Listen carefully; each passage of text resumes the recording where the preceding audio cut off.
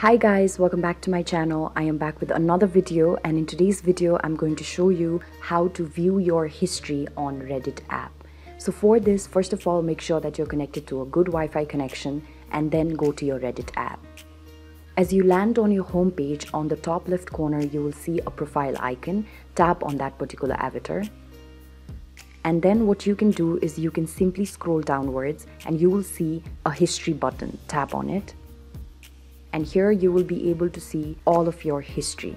So anything, any kind of activity that you've performed on Reddit will be available here. You can see an option here that says you can either view it through the recent posts or upvoted posts or downvoted posts or simply hidden posts. So here you can choose in this manner and you can simply view your history. So this is what you need to do. I hope this video has been useful to you.